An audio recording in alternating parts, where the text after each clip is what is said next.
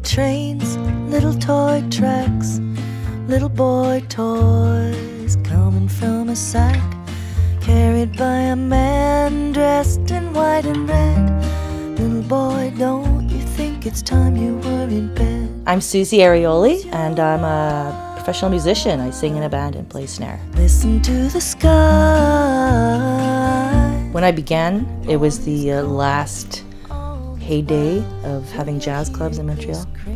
After I'd kind of uh, done experience with Stephen Barry and uh, doing his jam nights and stuff like that, which were really important for a new person, I was actually able to get over my fear of performing. Carried by a man dressed in white and red.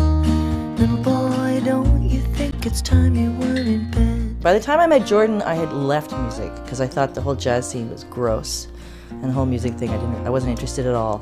And I love jazz. I love these beautiful songs, and I didn't think that they were being appreciated, so I split.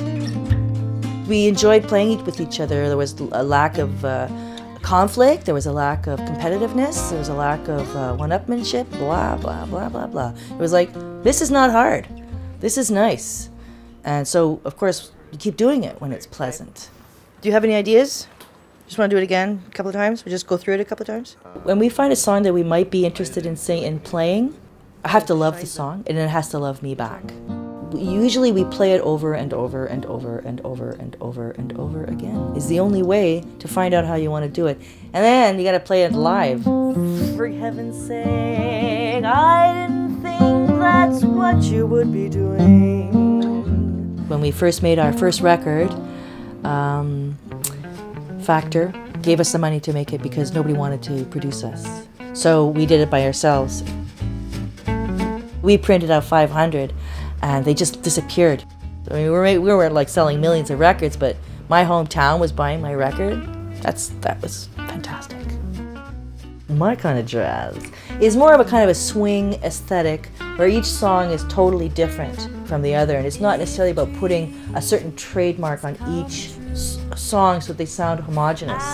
So our jazz is different in that it's very, very, very contained in a very small flower pot, but it gives really nice plant. That smile in your eye. Everybody can sing exactly the same thing in their honest voice and be unique. So you don't have to change the timing of anything, you don't have to change the way you pronounce something. Just being yourself gives you this incredible clarity as an individual. Right. You mean like sound like natural? Um, Look into the sky. yeah, stuff like that. It might be, uh, might sound more relaxed or something. Yeah, yeah, yeah. Le jazz que je fais, c'est strictement en anglais. Alors, c'est toujours été une surprise que ça fonctionne très bien euh, sur, radio, sur les ondes de Radio-Canada et euh, avec mes, mes publics. I mean, ma public est deux tiers francophone. Et c'est comme ça fait rien. Euh, Il y a un marché ça, spécifique québécois qui n'est pas canadien. Fait que tu peux avoir une carrière ici à Québec et c'est ça que je suis en train de faire.